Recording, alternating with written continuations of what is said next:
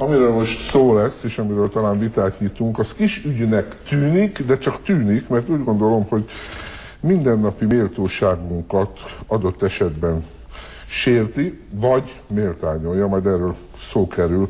Mindent Marvai Krisztina a Civil Jogász Bizottság társelnöke, az, aki szóvá tesz. Ezügyben valamit. Zsilmó Katalin az Ocean Magyarország igazgatóság munkatársa, a másik oldalon, és valahol itt mellettem Vámos György Ugr, aki a Országos Kereskedelmi Szövetségnek a főtitkára. Öné a szó. Hát előzményként ott kezdeném, hogy a e, Civil Jogász Bizottság példája igazolja azt, hogy néha megaláztatások és az emberi jogsértések ellen igenis érdemes fellépni. Tehát meg kell szólalni, nem kell birkaként tűrni azokat a megaláztatásokat, amik manapság a magyar embereket érik. Azt tapasztaljuk, hogy valamiféle modernkori gyarmatsorsára jutott e, Magyarország ahol a, különösen a külföldi beruházók hajlamosak arra, hogy a magyar embereket kizárólag olcsó és kizsákmányolható munkaerőnek tekintsék, és az embereket általában pedig igényeiket érvényesíteni nem képes, igénytelen fogyasztóként. Ez ellen fellázadunk, elkezdünk bolykotokat hirdetni, az akciónk neve az, hogy a magyarok méltóságáért és emberi jogaiért, az első eleme pedig az, hogy szavazzon a pénzével. Ennek a keretében bolykotot hirdetünk az Osán áruházlánc ellen, tekintettel arra, hogy tömegesen alázzák meg a magyar embereket olyan módon, hogy az áruházból távozva mindenkinek, aki nem vásárolt, be kell mutatnia a retikűjét vagy a táskáját egy biztonsági őrnek. Hangsúlyozom, hogy anélkül, hogy bármiféle gyanú árnyéka rákerült volna a lopás ügyben. Itt két szó az, ami nekem megütött a fel, hogy tömegesen, és a másik, hogy Mindegy, szóval nem, nem szúrópróbaszerűen? Mert én ezt olvastam. Ö, sajnos ellent kell mondanom Morvai Krisztinának, ugyanis az a helyzet, hogy valóban vannak nálunk ilyen jellegű ellenőrzések, de ezek az ellenőrzések nem kizárólag a vásárlás nélkül távozókra vonatkoznak, és kizárólag szúrópróbaszerűen történnek. Ez, ez, ez, ha akár szúrópróba is, csak kérdezem, én jó hírét kelti az önök cégének? Igazából pillanatnyilag nem teljesen a mi jó hírnevünkről van szó, hanem arról van szó, és talán ezt majd Vámos úr lesz olyan kedves megerősíteni, hogy Magyarországon egy évben 100 milliárdos nagyságrendben tűnik el áru a boltokból, áruházakból. Tehát ez nem egy magáért való intézkedés, nem egy öncélú idézőjelbe tett elhiszem, elhiszem, csak a kérdés az, hogy azok lopják el ezt a mennyiségű árut, akiknek megnézik a táskáját.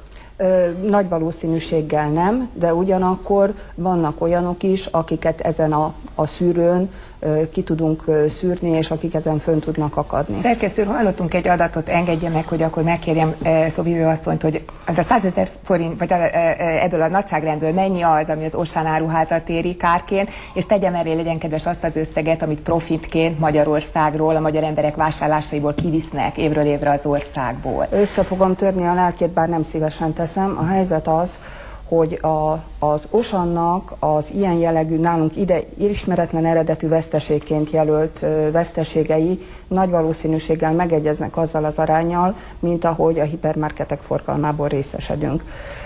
Ugyanakkor azt is el szeretném mondani, hogy az Osan Magyarország 10 éve van az országban, évi nagyságrendileg 35 milliárd forintos befektetést eszközöl, és pillanatnyilag sajnos még nem jutottunk el oda, hogy profitot tudnánk termelni, mert még az első megnyitott áruházunk is nem termelte vissza a befektetett tőkét, arról meg, hogy kivigyük az országról, abból meg különösen nincsen szó. Hát, hogyha ekkora áldozatot hoznak, akkor lehet, hogy vissza kellene adni a magyar vállalkozóknak a lehetőséget arra, hogy ők kereskedjenek Magyarországon, és a magyar termelőknek, hogy az ő árujukat, az ő terményüket árulják a magyar emberre. Csak valamit hadd kérdezzek érzek az ön mondataiban némi kapitalizmus ellenességet. Lehet, hogy én nagyon ö, sarkítom ezt a kérdést. Nem az a kapitalizmus, ahol a tőkés minél kisebb befektetéssel minél inkább ki akarja zsákmányolni azt a régiót, ahol éppen a munkaerő olcsó. Hát én azt hiszem, hogy nem ez a nem kapitalizmus. Ez? Nem ilyenfajta kapitalizmusra vágytunk, és a magyar emberek semmiféleképpen nem olyan kapitalizmusra vágynak, ahol az emberi jogaikat, az emberi méltóságukat sárba tapossák, ahol valamiféle gyarmati benszülöttként zsákmányolják ki őket, és ahol ezt meg lehet tenni, hogy ilyen szinten az emberi méltóságot és az emberi jogokat sértsék, hogy birkaként sorbálítják a magyar embereket, és büntetésből azért, mert nem vásárolnak, igenis nem szúrópróbaszerűen, egyébként az se lenne indokolt, hanem ahogy a magyar televízió rejtett kamerája is bemutatta tíz nappal azután, hogy én magam ott jártam, amikor én ott jártam, akkor is sorbálítottak az embereket, és nem szúrópróbaszerűen, hanem mindenkit, aki nem vásárolt. Aki Abban a helyzetbe hoztak, hogy nyissa ki a táskáját, mutassa meg a retikőjét egy vadidegen embernek a külföldi tulajdonosok utasítása alapján. Máshol is vannak áruházai, például fejlettebb kapitalista államokban. Igaz, mondjuk Franciaországban vannak, ugye? Többek között Franciaországban, Olaszországban. Gyakorlatilag ott is működik a szúrópróbaszerű ellenőrzés, és hozzáteszem, hogy ez egy három másodperces procedúra. Én magam sem örülök neki, ezt hozzá kell tennem. Jó, nem csak a gyarmatokon csinálják, ezt ez nem oda Én akkor most megkérem a kedves nézőket, hogy akinek Franciaországban rokona ismerőse barátja van, írjanak nekik egy e-mailt, és kérjenek egy visszajelzést arról, hogy e, valóban megmerik-e francia emberekkel ezt csinálni. Én biztos vagyok benne, hogy a francia emberekben van annyi öntudat, hogy már régen bolykottot hirdettek volna az Osán áruház ellen, hogyha minden gyanúok nélkül tolvajnak minősítenék a sok millió francia Már most odakint arról beszéltünk, hogy mi a különbség az eladó és a kereskedő között. Általában klasszikus kereskedésben, modernkori kereskedésben mennyire elfogadott, és milyen mérvű módon elfogadott az ellenőrzés vagy a kutakodás.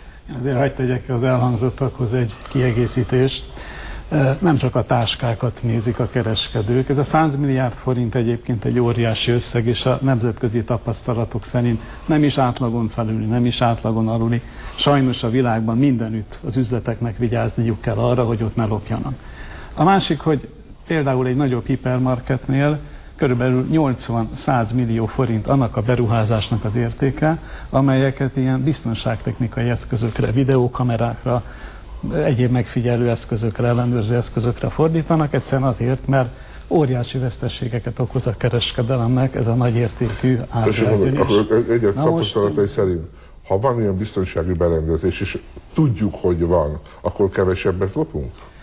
Egy nagyon fontos szabály van az üzletben, ahol biztonsági berendezés vagy biztonsági őr van, azt a bejáratnál ki kell írni, kötelező kiírni.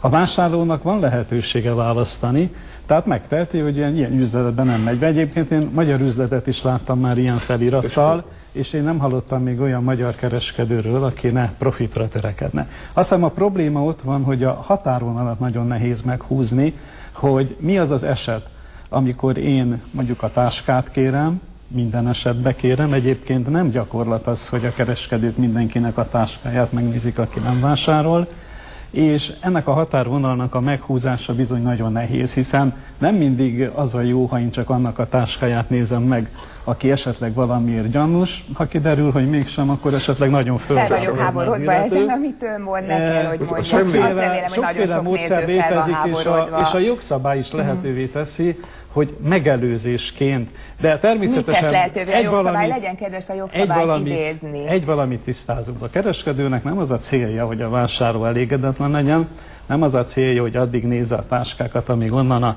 kenyérbe sütött kisegér ki nem ugrik. Egyszerűen rákényszerül minden eszközre. Egy másik De számot hagyd mondjak még. A rákényszerül miatt is itt, Morvai Krisztina, én azt gondolom, hogy egy szemléletet is firtat, hogy tudnélik az ellenőrzésnek, vagy figyelésnek, vagy a kárnak mérve szerint minek tekintenek bennünket, kik vagyunk többen, tolvajok, vagy tisztességes vásárlók. Tehát mi az arány, mondjuk százból hányan lopnak, és érdemese a három tolvaj miatt 97 ember tolvajnak tekinteni? Nem tekintenek 97 ember tolvajnak, tisztázunk ezt, tehát egyes esetekben fordul csak elő. Időszakosan, hogy minden vagy nem vásárló ember táskáját megnézik. Én azt hiszem az Osánnál sem mindennapos gyakorlat ez. Egyáltalán nem. Ezt azért ki kéne mondani. A másik dolog pedig az, hogy évente a kereskedők 60 ezer esetben tesznek feljelentés, szabálysértés, vagy bűncselekmény miatt, amikor el is kapnak valakit. Az meg már egy kriminalisztikai becslés, hogy ennek a többszöröse az elkövetett eseteknek a száma. Tehát azt is látni kell az érem másik oldalát, hogy hát ez bizony sok kárt okoz. Na most hogy ez megalázó. Hát senkit sem szabad megalázni, tehát ebben mi egyetértünk. Az Országos Kereskedelmi Szövetség, ez egy annyira fajsúlyos, súlyos kérdés, hogy már tíz évvel ezelőtt